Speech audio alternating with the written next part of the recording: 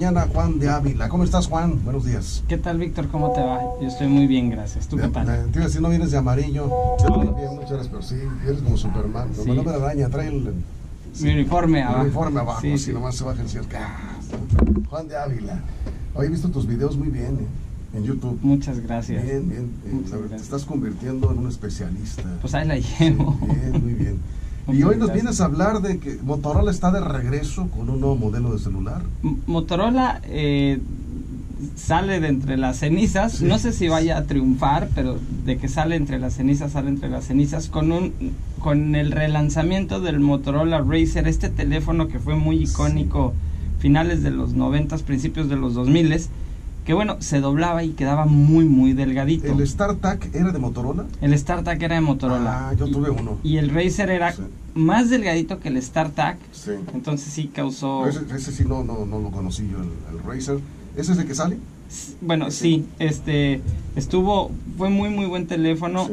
a principios de los de los años 2000. Ujú. Entonces lo relanzan Sí. y, y había generado mucha expectativa, pero para mí causó tiene dos cosas que le van a impedir ser tan exitoso No como como su predecesor, Sí. antecesor, perdón, este y es que vale 1500 dólares. Ajá. En- ¿Qué? entonces, 20, Pues 29 mil, 30 mil pesos. 30 mil pesos. Entonces- no, pues sí está carito.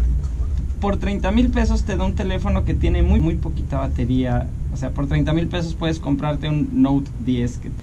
La cosa es que es un teléfono nostálgico, está muy padre, pero pues eso, que cuesta 1.499 dólares, no creo que le vaya a ayudar mucho. Sí. O habrá quien, si este, o sea, vamos, va a re- está dedicado a un nicho muy reducido de mercado. Alguien que quiere pagar 29 mil pesos Sí. por tener un teléfono que tuvo en los 90s, 2000 Aquí me dicen que el iPhone 11 Pro Max cuesta 32 mil pesos. Sí, No, pues. Pues no, no compite. no, no compite. O sea, va a un segmento muy específico. Alguien que de veras diga, ay, fue mi primer teléfono Sí. y yo quiero uno Para que lo tengas ahí. Digo, casi, casi de adorno. Sí. Sí se dobla hacia adentro en lugar de hacia los lados como los Huawei o Galaxy Fold o el Royal E. En- entonces, está, sí está bonito y sí está funcional como para teléfono de emergencia, pero el precio, en mi parecer, no creo que le va a ayudar mucho. Si costara unos 10, 12 mil pesos, pues todavía. ¿no? A lo mejor, Ujú. sí, siete también. Sí, todavía, pero así no. Así ya no. Y otra cosa que por el momento así es como están las cosas, es que el teléfono todavía no llega a México, va a llegar dentro de algunos meses, ya lo anunció Motorola que sí va a llegar a México, pero ahorita si alguien quisiera ir a Estados Unidos y comprarlo, pues tampoco puede porque es un teléfono que está exclusiva con, con Verizon, es decir, no está desbloqueado. Otra cosa que también hace 10 años que se dejó de ¿Y usar. ¿Eso por qué? Pues no sé, de, de veras regresaron en, en la cápsula Pero del eso tiempo es- es perder dinero. es perder dinero porque pues o a lo mejor Verizon le apostó al 50% del desarrollo del teléfono, no sé por Sí. qué lo harían. Eh, la cosa es que ahí está, es su nuevo A ver, ¿qué, flagship qué fue lo que sí te gustó de este modelo? el, el teléfono en sí está Ah, bonito, o sea, sí. que a la hora de que... ¿Trae buena cámara de perdida, digo?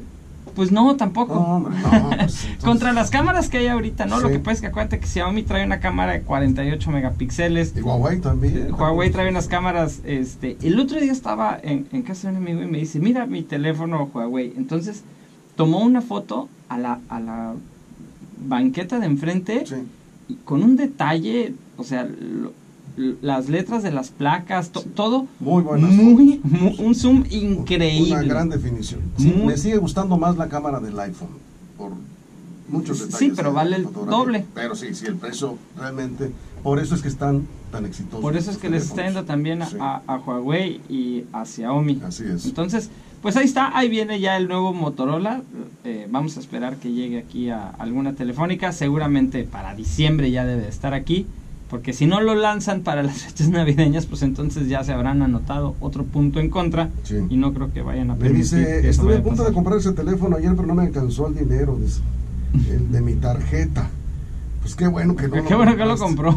Porque hay otros teléfonos mejores, ¿no? Nos- Nos, Exactamente. queda un minuto. ¿Cuáles recomiendas? En lugar, digo, lástima, Motorola, qué, qué lástima, ¿verdad? Porque está muy bonito el teléfono. Está muy bonito el teléfono, pero yo veo que va a ser un poco difícil su desplazamiento. ¿Cuáles recomiendo? Pues iPhone, el Galaxy Note de Samsung, Xiaomi, Huawei, eh, es, es que hay mucha oferta, mucha, mucha Sí. oferta. O sea, entonces, si tienes para un teléfono de gama alta caro, Samsung Galaxy Note, Samsung Galaxy S10 o, o iPhone. Es mejor la bisagra que una en la pantalla, dice diferencia del Galaxy. Sí, o sea, sí tiene Sí. esa tecnología que es una, es una bisagra más delgada. Ahora, Sí. me acuerdo perfectamente que en estos tiempos de Motorola lo que empezaba, eh, lo que hizo que los talleres de reparación fueran un éxito era el flexible, porque se Sí. dañaba de abrir y cerrar el teléfono. Vamos a ver cuánto le dura a Motorola la pantalla eh, en flexiones. En fin, es, es, una, es algo nuevo. Sí, Seguramente pero- fallará en algún momento, pero ¿qué le hace? Pues para eso tienen los, las empresas esta su, su año de Bueno, garantía. Lástima, Margarito, como dicen luego.